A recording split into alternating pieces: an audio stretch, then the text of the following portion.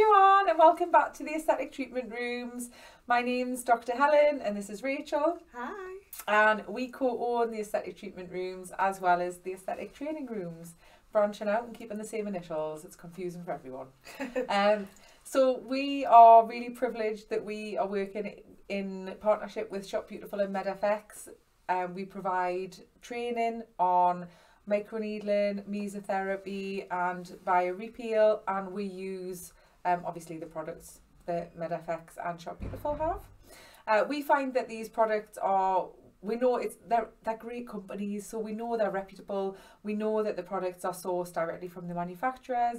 Uh, we know that they're they're safe for our Yeah. our customers, and like we love the company, so it works really well for us. Um, as I say, we found that we uh, we did a lot of training, as I'm sure a lot of you have. We wanted um, accessory courses, not just the basic botulinum toxin and dermal fillers, which is what we started out with. I think everybody everybody think does, don't does, they? Yeah, definitely. Um, so we really do the accessory courses, um, the stuff that is going to help you bring your patients back in between those appointments as well. So today we're going to talk a bit more about BioRePeel, and after our webinar that we did in October, and we've done a short video, sort of an introduction to as well. We just wanted to go over a few more points, um, questions that had commonly come up in the forums and following the webinar and things to explain a little bit more and to try and get to the bottom of these sort of frequently asked questions that people have just to try and help everyone um, and get through that. So I hope it's helpful. Um, our introduction to BioRePeel should be out as well. So if you want a little bit of a recap, go through that as well. So what is BioRePeel? Let's go over that bit quickly. Um, is a trichloroacetic acid peel. It is a combination peel, which means that it actually has quite a few different acids in there. Um, it's biphasic, so it's got two different phases in it, but the way that it works is that it's got um, a keratolytic action, which actually helps to exfoliate and give a peel-like effect.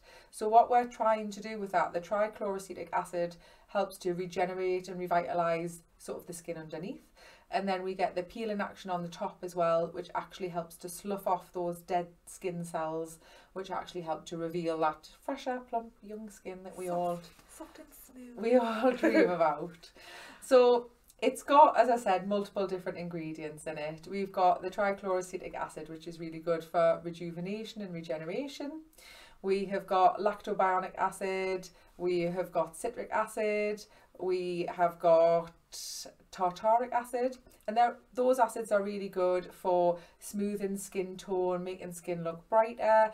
Um, and then we've got salicylic acid, which is always a hero product for anyone who is an acne sufferer. So it really helps just to decongest the skin, um, making sure that those, you know, the blackheads go, um, people's skin has a chance to recover from any excess sebum that's produced as well. We have got amino acids in there, which help to stop the skin getting too irritated.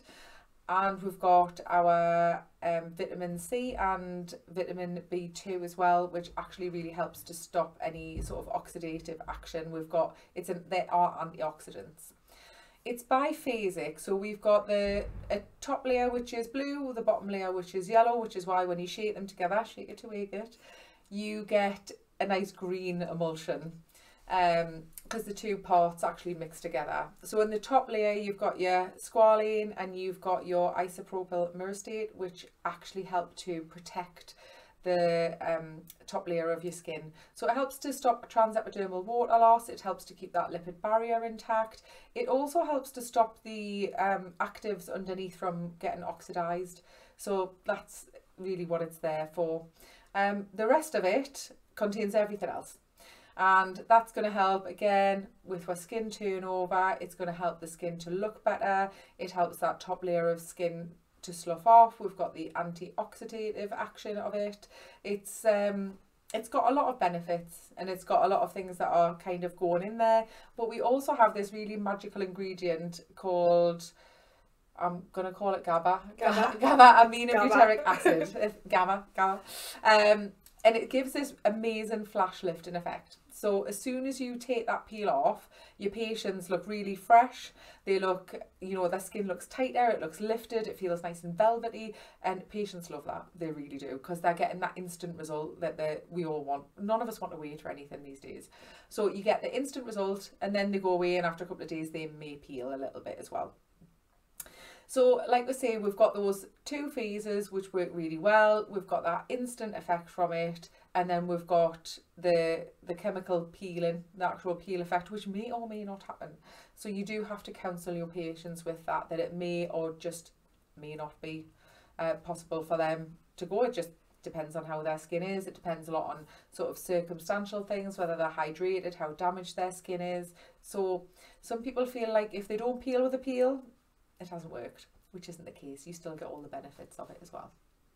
So let's go into those questions. So today it is Rachel's turn to be in the hot seat and let's see how much she knows. Yeah. So I'm going to get you a little list of all your questions here.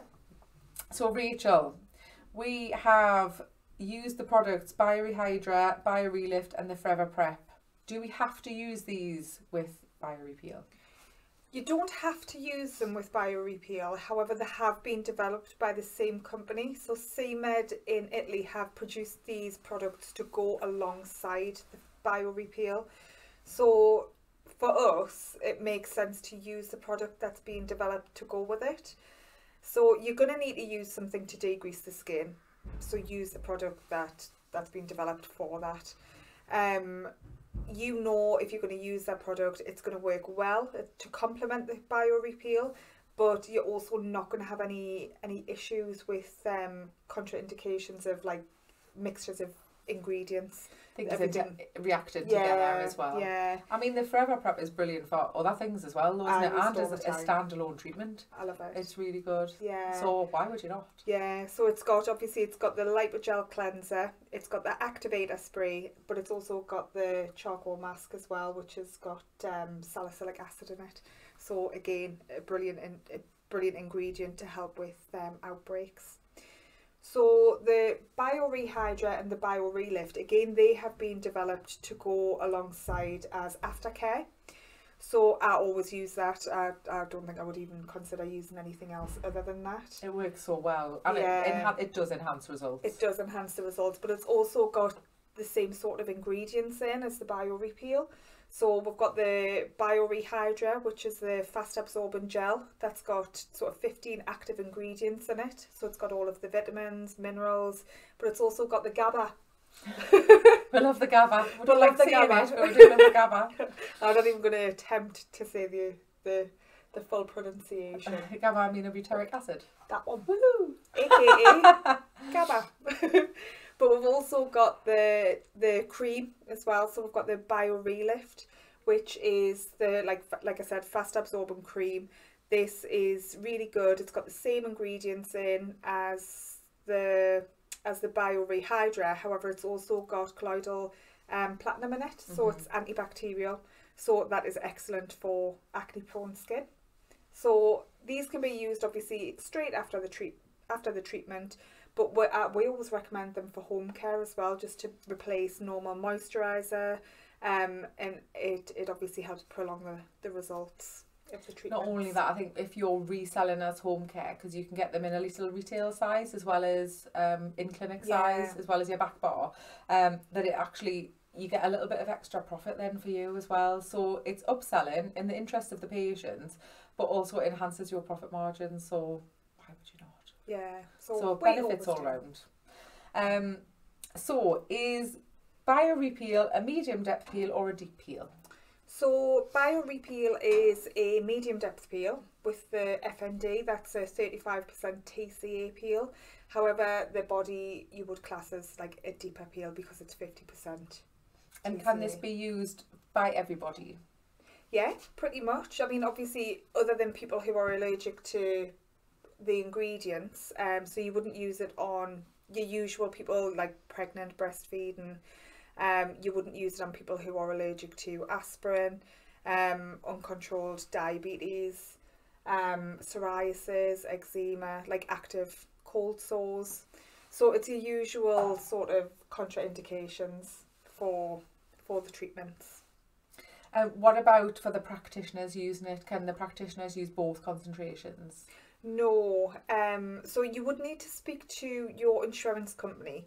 Um, our insurance company has informed us that to use the TCA peel, you can do it if you're beauty qualified and qualified in chemical peels up to the 35%.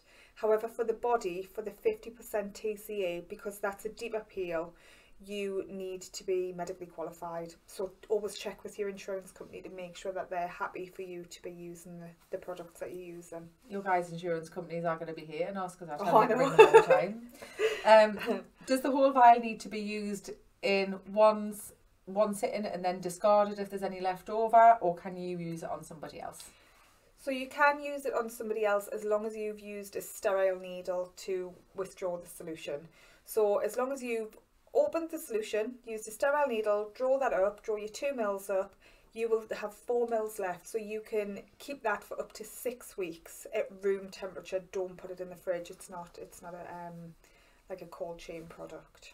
Well, going on to the next questions. Where where should I store Ah. BioRePeel? Eh? Room temperature between five and twenty five degrees. Uh huh. And obviously, like I say, don't put it in the fridge because it doesn't live there. So we're looking at a, a cool cupboard, really, aren't Yeah. we? So something out of the fridge, but especially you do have to be careful in the summer Oh, because it can get quite warm. So making sure that it's out, obviously nowhere in direct sunlight, um, put away, and if when it gets warm, put a thermometer in your cupboard. Yeah. I mean, we did when it got warm in the summer, didn't we? And it Mhm. was the rooms were getting up to twenty eight degrees. Yeah. So, So we you had know. to take everything out, didn't we? We put Mm. everything in the in the passage, and we had to br- bring the air conditioning unit to- to cool all of our products. But otherwise, if they go over that, then obviously they can oxidise or they don't become as active and they're not going to work. And again, patient safety, is it better to discard them if they've gone above those limits? So just it's just a case of thinking ahead. Um, so next question, can dermaplaning be carried out on the same appointment? Yes, it can, um, as long as you are qualified in dermaplaning and you have checked with your insurance company. um, to mix any any procedures together. So as we've said in one of our other videos, if you're going to be using two different procedures, just make sure your insurance company will cover you to do that. But if you are going to do it, make sure you do dermaplaning before you do the peel. Uh, how long should patients wait for before waxing? And really, I suppose that's how long should they wait to have the BioRePeel after waxing, or how long should they wait after the BioRePeel to have the waxing? So how long either side? 36 hours needs to be in between any sort of waxing and peel treatment. Before and after? Yes, minimum. And can you do skin boosters on the same day? Again, check with your insurance company. Hi, hi, insurance companies. It's our fault. um, but again, yeah, you need to make sure that you're um, insured to do both, both of the um, treatments at the same time, rather than um, doing them as two separate procedures. But if you are going to be doing them, do it after the peel. How long should you wait before you get semi-permanent makeup? Oh, that's a good question. So we normally say for semi-permanent makeup, you want to leave a minimum of a month in between having your semi-permanent makeup and having the peel. However, we normally recommend that you put Vaseline or a barrier barrier over your um like any tattooing, any semi-permanent makeup, um because you don't want to be applying an acid straight over any any sort of tattoo because it will fade it. How do you work out pricing for the body peel?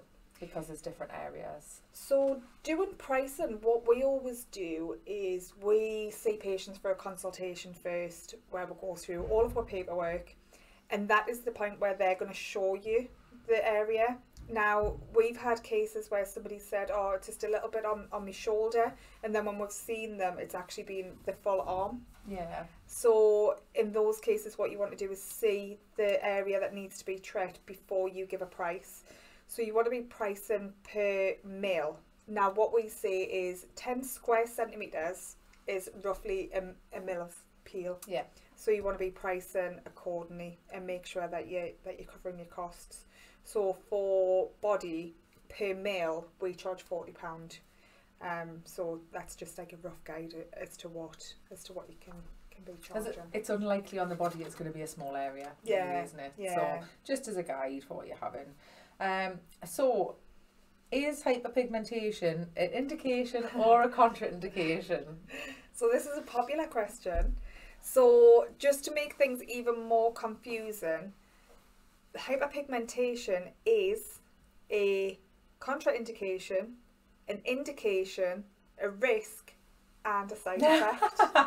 so so yeah, you you need to be aware of what's happening firstly. So again, when you're having your consultation, take a thorough medical history.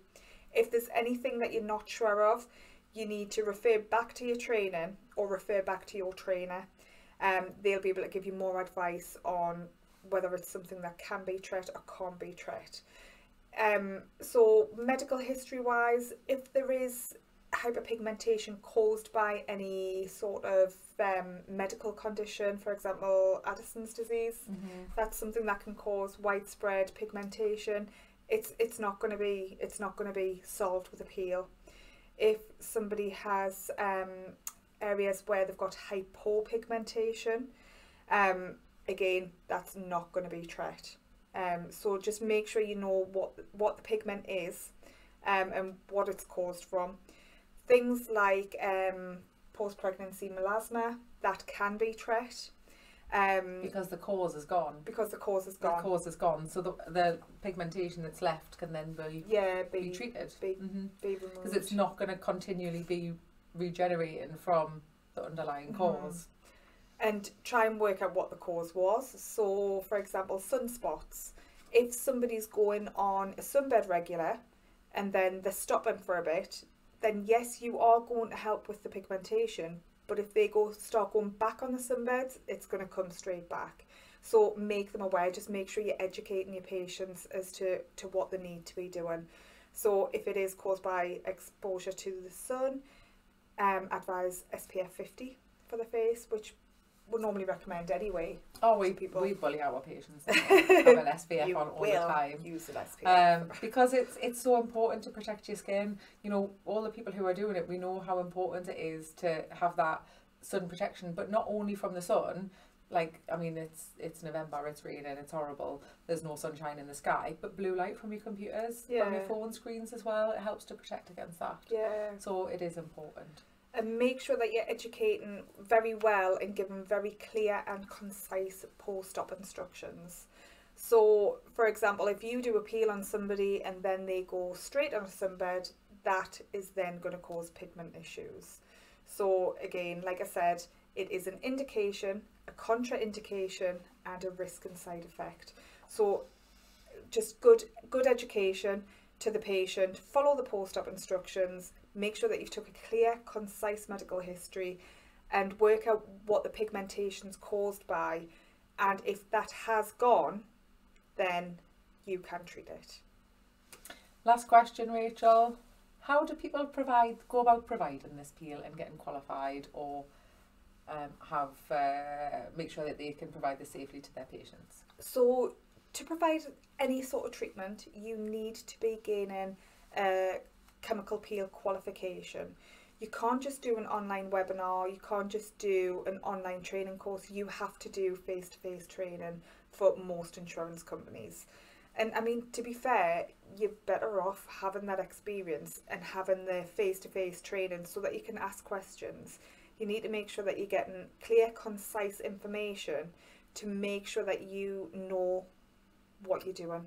Um, some people are saying that they haven't had any information with regards to certain parts of chemical peels um, for so they don't know whether they should be doing things. So if that is the case, you might want to think about taking another chemical peel training course.